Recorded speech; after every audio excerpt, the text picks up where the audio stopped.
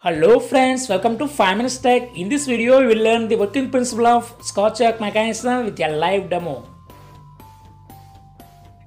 You are seeing here the Scotch Yoke mechanism.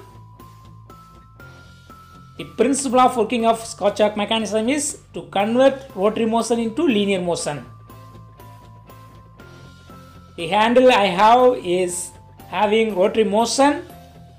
I am giving rotary motion as input and finally you get the output in linear motion in horizontal direction and also in vertical direction.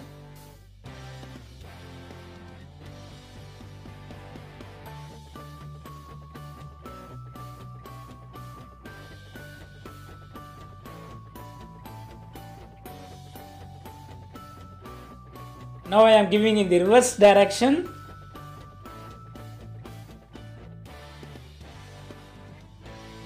So rotary motion is easily converted into linear motion.